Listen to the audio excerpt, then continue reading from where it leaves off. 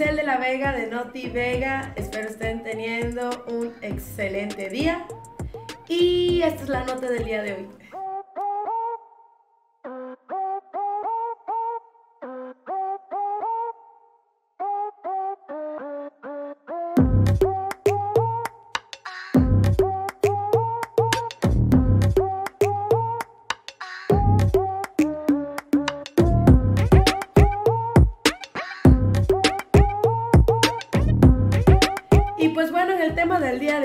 A hablar sobre Carmen Aristegui, quien parecía que estaba de este bando con Andrés Manuel y ahora parece que se fue para el bando de los opositores, ya que sale de arrastrada a criticar y sale a defender hipócritamente a Lorenzo Córdoba sobre el tema que está ahorita sobre la revocación de mandato, que quieren quitar la revocación pues de mandato. Y bueno, vamos a escuchar lo que sale a decir Carmen Aristegui para defender al INE y a Lorenzo Córdoba. Qué hipócrita de lo que está sucediendo en el Instituto Nacional Electoral después de la votación del viernes, en donde el consejero presidente Lorenzo Córdoba propuso y fue aceptado por la mayoría eh, suspender algunas de las actividades relacionadas precisamente con la organización de una eventual consulta de revocación de mandato. Esto ha generado reacciones muy fuertes de las que hemos hablado aquí. Ayer tuvimos la presencia del presidente de la Cámara de Diputados, escuchamos a un consejero electoral de los que están siendo señalados, incluso eh, por parte del propio presidente de la Cámara, eh, para eh, Sergio Gutiérrez Luna, para proceder penalmente ante el Ministerio Público se va a presentar una denuncia, ya debe estar por presentarse, por lo que nos dijo ayer, que calculaba unos dos días para preparar este recurso legal. Eh, oímos al presidente de Morena hablar de juicio políticos, es decir, el tema ha escalado a estos niveles y estamos frente a una discusión abierta y en este espacio, pues tratando de presentarle las diferentes perspectivas de lo que cada quien está diciendo al respecto. En este momento estamos enlazando la comunicación con el representante de Morena, ante el INE, que es el diputado Mario Yergo, y le aprecio que esté aquí para que nos diga en qué punto estamos. Eh, Mario, buenos días y bienvenido.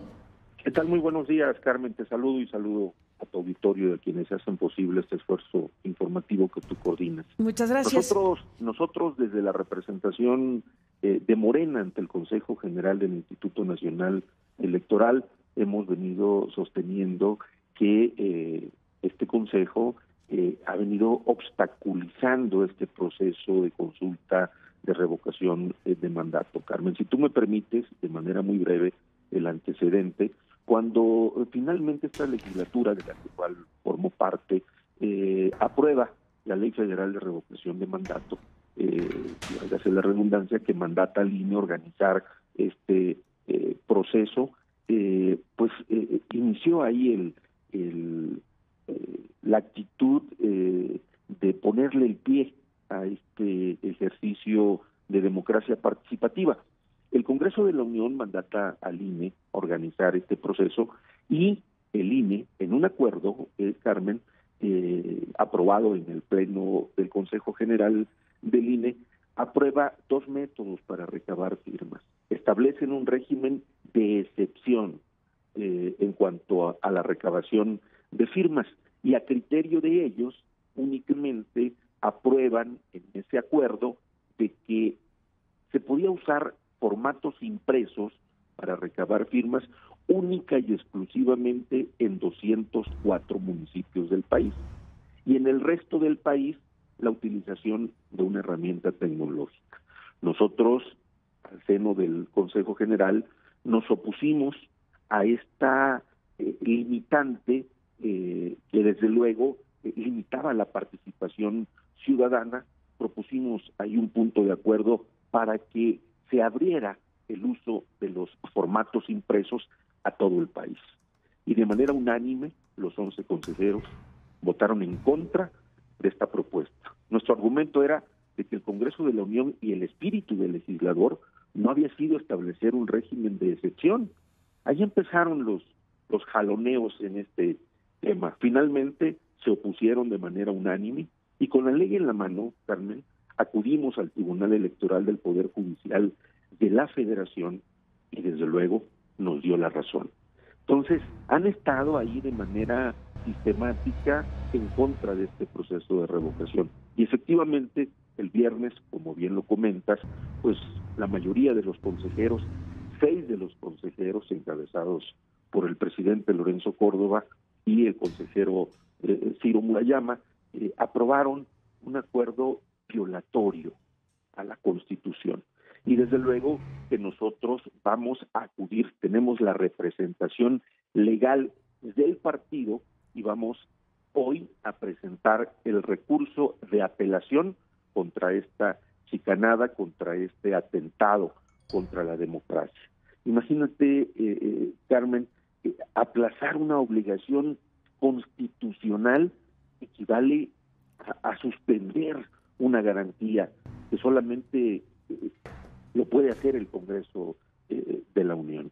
Entonces, por ahí del mediodía estaremos presentando este recurso de apelación para que sea turnado al Tribunal Electoral del Poder Judicial de la Federación y desde luego pues se pueda pronunciar y atender ante ese órgano jurisdiccional este este tema, este exceso de eh, seis consejeros eh, que están violando la Constitución. Y no tan solo eso, Carmen, han descalificado este este, este proceso eh, de democracia participativa. El propio consejero eh, eh, Murayama ha utilizado ahí descalificativos como que es, un, es una pantomima.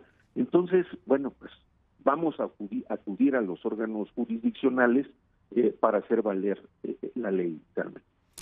Em, esto es una parte, digamos, de lo que de lo que está por suceder, como como nos lo anuncias.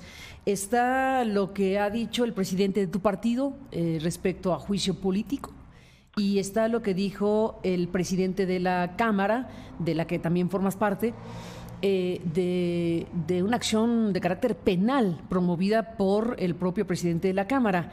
Eh, no es llevar las cosas a un extremo proceder de manera penal en un caso de una votación, de la cual desde luego se puede estar de acuerdo o no, es su resultado, pero es un órgano colegiado que votó lo que votó y que hay un organismo al que ustedes acuden, que es el tribunal, que va a resolver esta parte y que la Suprema Corte de Justicia resolverá la parte presupuestal que pues le pidió el INE resolviera.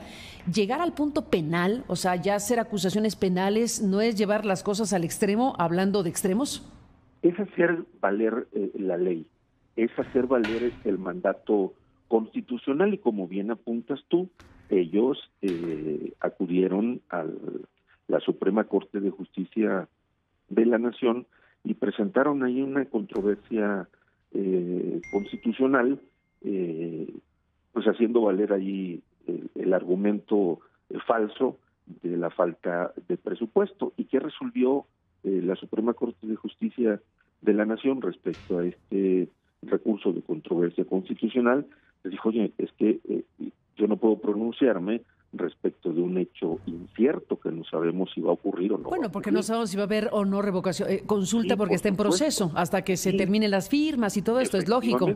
Pero ¿qué hicieron ahora? Lo mismo que hicieron con los formatos impresos.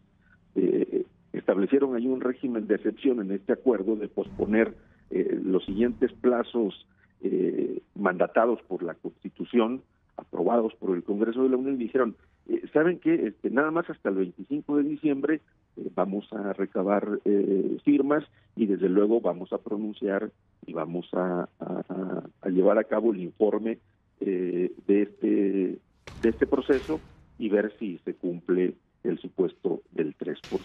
Yo creo que la propia Cámara de Diputados tendrá que eh, interponer los recursos legales estime convenientes. Tengo conocimiento que desde luego la Suprema Corte de Justicia, una vez que finalmente eh, el informe eh, arroje si se cumplió con ese requisito del 3% para que el propio Instituto Nacional Electoral emita la convocatoria correspondiente de este ejercicio democrático, le correrá traslado y se tendrá que pronunciar la propia Cámara respecto de esta controversia constitucional que interpuso el Instituto Nacional Electoral. Nosotros, desde la representación de Morena, haremos lo propio. Aristegui sale descaradamente a defender a Lorenzo Córdoba y pues al INE por el tema de la revocación de mandato. Y bueno, esto es todo por el día de hoy. Yo soy Itzel de la Vega de Noti Vega. Déjenme en los comentarios qué opinan sobre que esta mujer se hacía pasar por parte de la cuarta transformación y ahora se volteó para los de la oposición. Y bueno, no olviden darle me gusta a mi video y no olviden seguirme en mis redes sociales y hasta la próxima.